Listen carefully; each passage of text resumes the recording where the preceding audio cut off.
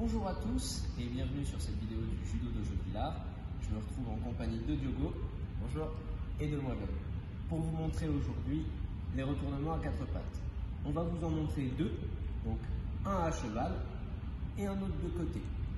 Donc les retournements à quatre pattes, ça se passe quand mon partenaire est à quatre pattes et que moi j'essaye de le retourner sur le dos pour l'immobiliser. Voilà, je pense qu'on va passer directement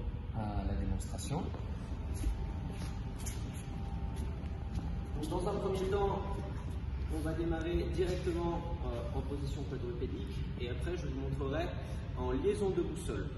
Donc partir du debout pour arriver à cette position et au travail au sol. Le premier, le retournement à quatre pattes, je vais saisir le col et la ceinture ici et je vais essayer de ouvrir les côtés de mon partenaire ici pour pouvoir venir enclencher les jambes. Il faut que mes talons se touchent, sinon ça sert à rien. Si, si mes talons ne se touchent pas ici, je ne vais pas avoir assez de force et il pourra me renverser vers l'arrière ou vers l'avant. Donc bien toucher les talons.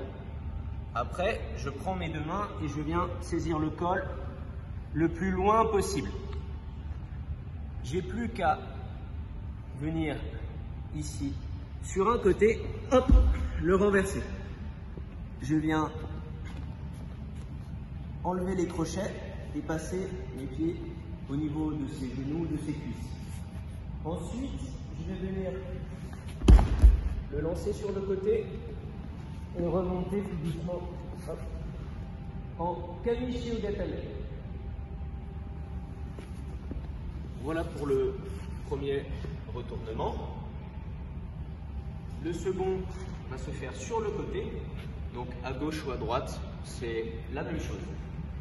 Ma première main, elle va venir sous sa tête, prendre les deux bras. Donc, pas juste à l'intérieur ici, mais bien les deux bras, là. Et je vais faire pareil, passer sous les fesses de mon partenaire et prendre les deux jambes, là où je peux. Le mieux, c'est vers les genoux. S'il a des trop grandes jambes et que vous avez des tout petits bras, ici au niveau du tibia. Donc, premier, les deux bras, ensuite les deux jambes, je viens tirer les jambes et pousser avec ma poitrine pour le pousser sur le côté et le faire rouler sur le dos.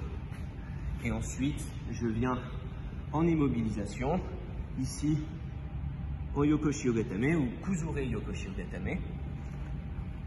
Ici, je peux venir ici. Après, c'est suivant les techniques que vous préférez au sol. Maintenant, on va vous montrer la même chose, mais en travail de liaison de boussole. Parce que au judo, on démarre debout, mais une fois que mon partenaire m'a fait tomber ou que j'ai fait tomber mon partenaire, le combat n'est pas forcément fini. Donc on peut continuer au sol pour l'immobiliser et gagner le combat au sol. Ici, mon partenaire va faire Ippon Seonage. Il va essayer de le faire à genoux et moi je vais le surpasser sur le côté. On va, on va recommencer. Ici, Ippon Seonage et je le surpasse. Il se retrouve à quatre pattes et tout de suite il faut que je vienne mettre mon poids ici. Je vais prendre le col, la ceinture et au moment où je vais me relever, je vais tirer en même temps ici pour venir hop, enclencher mes deux pieds avec les talons qui se touchent toujours. Je viens prendre l'école des deux côtés le plus loin possible et je roule ici. Il se retrouve sur moi, j'enlève les crochets, donc j'étais ici, je me retrouve en dessous. Je viens, hop, pousser et remonte.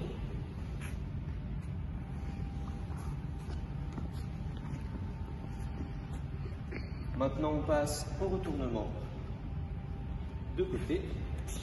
Ici, hop, je le surpasse. Cette fois-ci, je suis déjà installé.